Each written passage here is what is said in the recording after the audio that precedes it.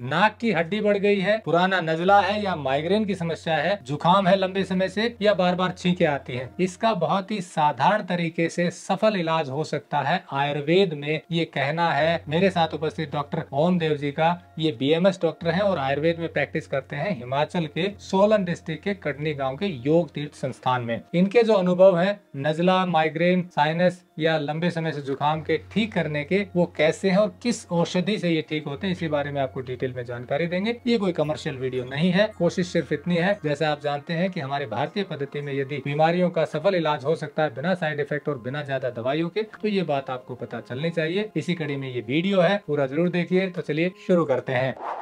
Technical farming channel को subscribe करें और बेल आइकन भी दबाएँ ताकि आगे आने वाले वीडियो की नोटिफिकेशन आपको मिलती रहे। नजला हो, जुकाम हो साइनस की समस्या हो, आप ही बताइए किस तरह की बीमारियाँ हैं, क्या हैं गेल किसी को धूल मिट्टी से एलर्जी जैसा कि बच्चों में आप देखते हैं, धूल मिट्टी से एलर्जी हो जाती है। स्नीजिंग उनको शुरू हो जाती है, छीके आनी शुरू हो जाती हैं। अन्यथा किसी को नाक में हड्डी डॉक्टर जैसे बता देते हैं, एडेनोइड में, एडेनोइड जो ग्लैंड है, उसमें स्वेलिंग हो जाती है, नेजल पोलिप हो जाते हैं। अन्यथा कोई और इससे जुड़ी हुई, उर्द रोगों से जुड़ी हुई आपकी नाक से साइनोसाइटिस साइनस आपको किसी तरह की ऑब्स्ट्रक्शन आईसाइट वीकनेस उसके लिए हम अपना स्वानुभूत योग, पूज्य गुरुदेव जी के दिशा निर्देशन में हम नश्य करते हैं। और नशे के माध्यम से चाहे 40 वर्ष पुराना माइग्रेन का दर्द ही क्यों ना हो, हम उसको विद इन सेवन डेज़ ठीक करके वापस रोगी को घर भेज देते हैं। और उसको किसी सर्जरी की आवश्यकता नहीं है, यदि उसके नाक की हड्डी बढ़ गई है, अन्यथा किसी तरह का साइनस है, किसी तरह की भी डीएनएस है, जैसे कि सेप्टम आपका डेविएटेड हो जाता है तो उस समस्या में भी हम केवल और केवल नश्य कर्म के द्वारा, जो कि पंचकर्म का एक हिस्सा है, हम रोगी को स्वस्थ करके विद इन सेवन डेज़ ठीक करके घर भेज देते हैं। जैसे किसी को लंबे समय से नजला है जी। जुकाम नजला रहता है जी। उसमें ठीक होने की क्या संभावनाएँ रहती है? यदि किसी को लंबे समय से जुकाम नजलाई अथवा छींके आना इस तरह की समस्या रहती है तो कहीं ना कहीं उसके गर्भ में यदि हम जाएँ हम पीछे जाएँ तो कहीं ना कहीं उस व्यक्ति को उसकी जठराग्नि मंद है और कफ की उसको समस्या है। उसको कहीं ना कहीं किसी ना किसी रूप में कफ का इन्फेक्शन ज़रूर है और उस इन्फेक्शन के कारण वह बार बार इस तरह से जुकाम से, नज़ले से बार बार छींके आना, इस तरह से वह ग्रसित हो जाता है। वैसा माहौल मिलते ही, जलवायु परिवर्तन होते ही अथवा मौसम के बदलते ही उसको इस तरह की समस्याएँ आने लगती हैं। कुछ समस्याएँ स्वाभाविक रूप से आती हैं, जैसे कि मौसम बदलता है, बसंत ऋतु में कप पिघलता है, वह स्वाभाविक है। लेकिन हर मौसम में थोड़ा सा गर्मी, सर्दी थोड़ा सा भी परिवर्तन होते ही जिसको छींके आए, जुकाम हो जल्दी जल्दी धूल मिट्टी से एलर्जी हो, उसमें उसको कहीं ना कहीं उसको कफ का इन्फेक्शन ज़रूर है। तो उसके लिए हम सात दिन के लिए हम अपने पास रखते हैं, अपनी ऑब्जर्वेशन में हम उसका नश्यम कर्म करते हैं और उसके लिए जो औषध है, वह हमारी स्वानुभूत एक योग है, उसका हम सहारा लेते हैं।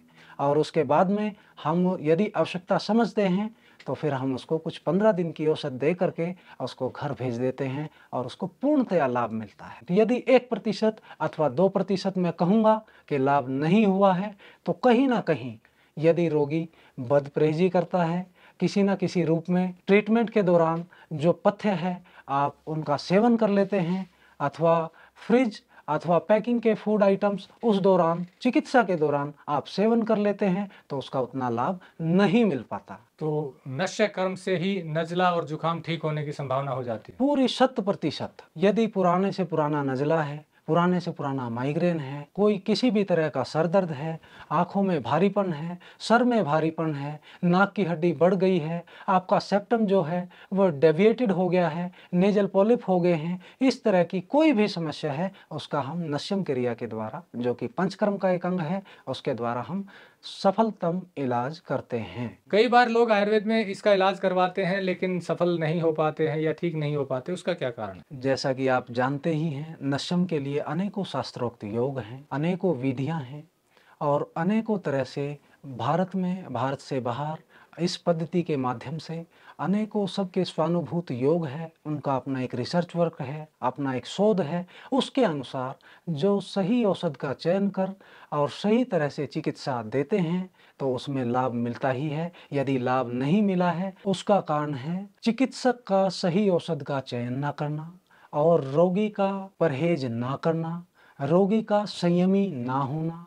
उसका भोजन पर नियंत्रण ना होना, अर्थात चिकित्सा के दौरान उनका सेवन कर लेना, उसके कारण से सफलता नहीं मिल पाती है। पुराना नजला हो, साइनस हो या माइग्रेन हो, इसका आयुर्वेद में एक पद्धति है, उसके द्वारा बहुत सफल इलाज हो सकता है, ये कहना है बीएमएस डॉक्टर ओम देव जी का। यदि आयुर्वेद में नेचुरल तरीके से माइग्रेन या फिर पुराना नजला ठीक हो सकता है, वो भी बिना किसी साइड इफ़ेक्ट के, बिना किसी ज़्यादा दवाइयों के तो ये एक बड़ी उपलब्धि है। इसीलिए हम आपको ये वीडियो दिखा रहे हैं, और जैसा आप जानते हैं कि ये कोई कमर्शियल वीडियो नहीं है, कोशिश सिर्फ़ इतनी है कि हमारी भारतीय पद्धति में यदि बिना साइड इफ़ेक्ट के, बिना ज़्यादा दवाइयों के बीमारियाँ ठीक हो सकती हैं तो उसके बारे में आपको पता चलना चाहिए और अधिक जानकारी के लिए नंबर दिया हुआ है। आप बात कर सकते हैं जुड़े रहिए टेक्निकल फ़ार्मिंग से। नमस्कार। जय हिंद। जय हिंद।